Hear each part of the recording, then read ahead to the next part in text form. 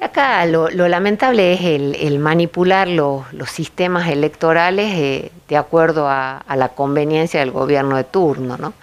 Entonces ahora el oficialismo ve que de pronto no le convienen, siempre que sea el pueblo el que decide los candidatos, que sea el pueblo el que decide y que se haya más democracia siempre es bueno.